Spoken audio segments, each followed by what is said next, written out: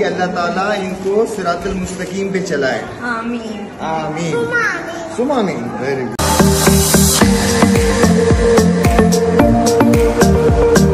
welcome back to Shoba's diaries आज के इस वीडियो में आपके साथ शेयर करेंगे बड़ी खुशखबरी और दिखाएँगे आपको शाहिद आफरीदी ने अपने घर पर किस तरीके से इस्तकबाल किया?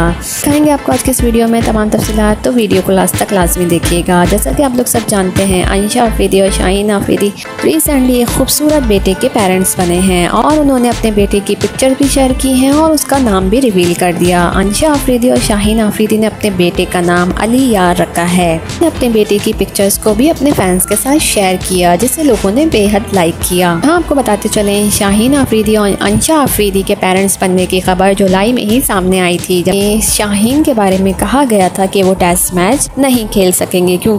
क्योंकि वो अपनी वाइफ के पास रुकेंगे। और अल्लाह ने अब उन्हें बहुत ही खूबसूरत बेटे से नवाजा है।